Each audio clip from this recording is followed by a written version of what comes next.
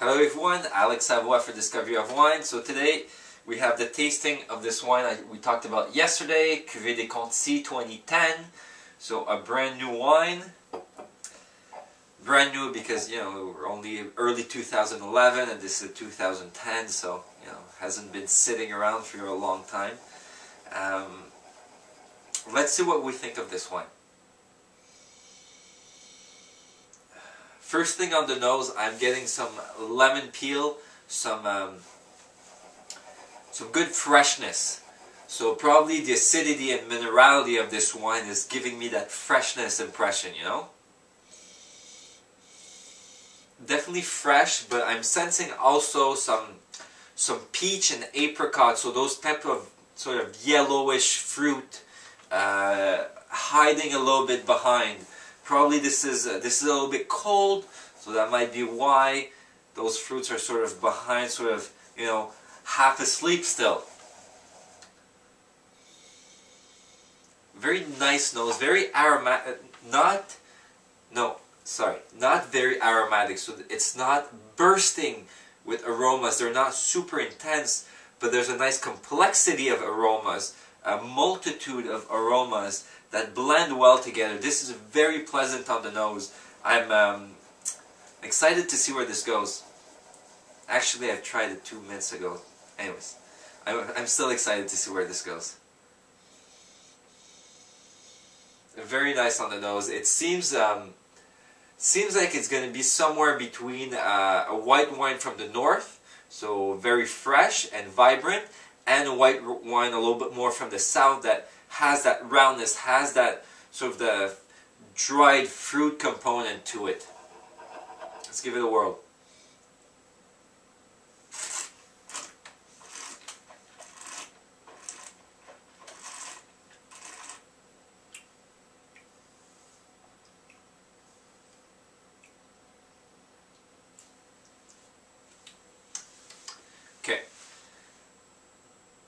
This is this is sort of going where I thought it was going to be. Um, it does have a lot of freshness. It does uh, cut through on the little extra fat that this one has, which is nice. I like fresh white wines. Uh, but it also has a round um, aspect to it. So, you know, it sort of coats your mouth, feels a little bit fatty, you know? A little bit greasy, like there's a bit of butter in there almost. Not quite like a Chardonnay, but in that type of uh, aspect is what I'm talking about. Um, so it does have that nice balance between those two, but it still has good focus. This one is knows where it's going.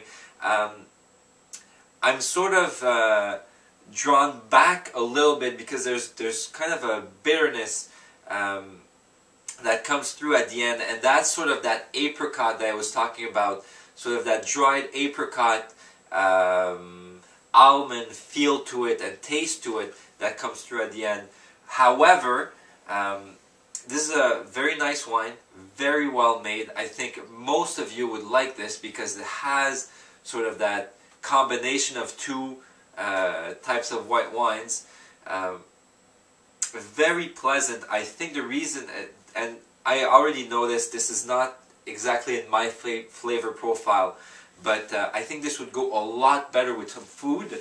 Um, I think this is not the type of wine that you want to serve in the summertime before dinner. This might be the type of wine that you want to serve with some entrees or with some fish.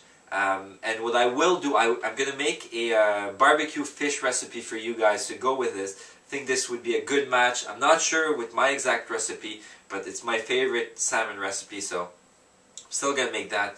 But definitely this with salmon uh, is great. Uh, this not being super fresh um, and you know only uh, with a strong acidity I, I wouldn't say it's good with oysters and things like that but it has that component a little bit a little bit of fattiness to go with you know the fattiness of the salmon so I think that's going to be a good match and um, yeah so uh, uh, I will see you guys tomorrow with that recipe and for now my question for today is or my subject of discussion rather is um, you have surely had wines from southwest France, although you might not even remember it because, you know, what we talked about, it's not a region that has a lot of hype around it.